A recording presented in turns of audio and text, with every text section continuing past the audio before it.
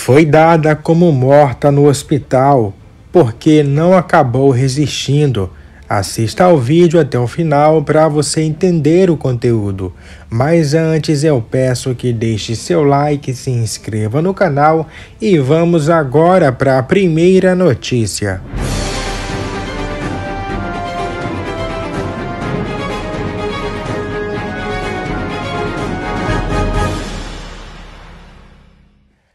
Dagmar Mota Viana estreou na justiça pedindo um teste de DNA para saber se é irmã da atriz Natália do Vale. De acordo com informações do colunista Alessandro Lobianco, do programa A Tarde é Sua da Rede TV, em reportagem exibida no dia 6 do 10, Dagmar descobriu, há seis anos, que uma irmã dada como morta logo após ter nascido de parto normal em um hospital público, está viva. A mulher acredita que essa irmã seja a atriz Natália do Vale. Inclusive, a veterana e dos dez irmãos decidiram entrar com uma ação judicial para confirmar o parentesco com a famosa Global. Segundo o jornalista Dagmar, soube de uma amiga da mãe que acompanhou o drama há quase sete décadas.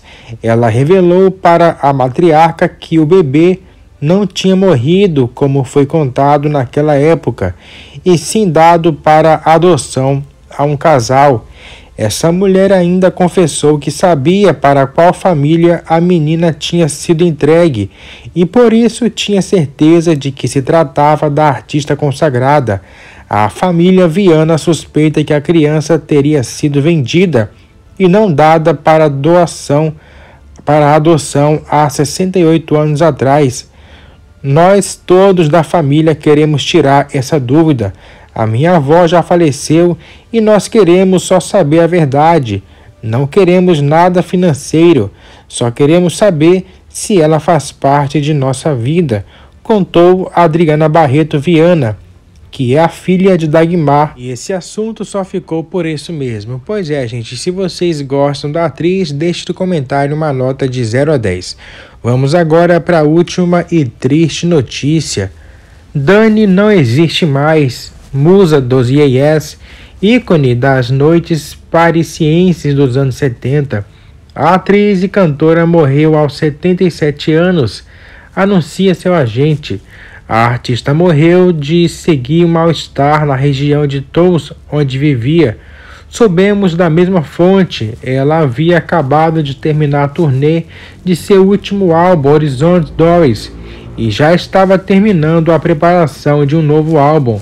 Filha mais velha de um sapateiro de Perpignan, Danielle Grauly, seu nome verdadeiro, chegou a Paris aos 19 anos quando comecei, estava totalmente consciente na esperança de posar para fotos de moda.